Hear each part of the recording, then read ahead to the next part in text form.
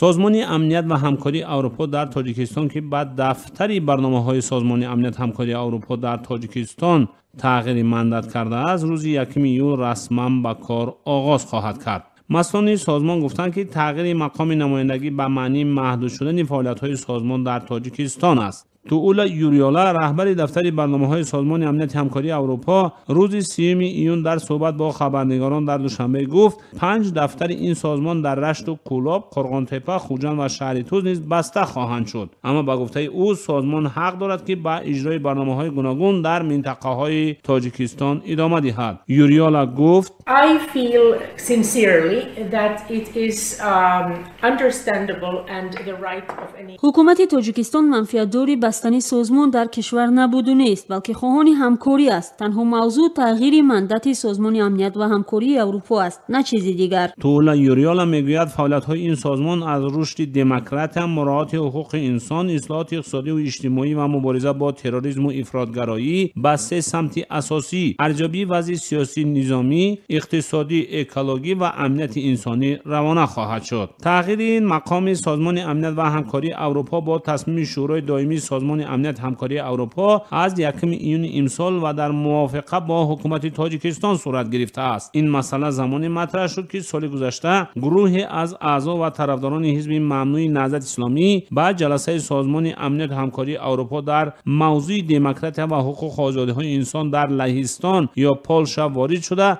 نسبت به بازداشت و زندانی کردن اعضای این حزب در تاجیکستان اعتراض کردند. پس از این هیئت تاجیکستان با این گفته که سازمان افرادگرای جنایان و تروریستان را به جلسه راه داده است همایش را ترک کرد. در تاجیکستان هم گروهی از جوانان در نزد دفتر سازمان امنیت و همکاری اروپا جمع اومده و به در و دیوار آن سنگ انداختند. سازمان امنیت و همکاری اروپا از سال 2002 باز در تاجیکستان کار می‌کند. در حال حاضر دفتری برنامه های سازمان امنیت همکاری اروپا در تاجیکستان 217 کارمند دارد که از آن 24 نفر خارجی هستند. با تغییر مندت سازمان امنیت و همکاری اروپا در تاجیکستان هنوز بودجه اجرای طرحهایش مشخص نشده است. طبق اطلاع سازمان سال گذشته منابع مالی برای اجرای طرحها 7 میلیون و 756 هزار و امسال 7 میلیون میلیون 554800 یورو را تشکیل داده است. همچنین طرحهای غیر در سال 2016 دو میلیون 710 هزار اورو بودند.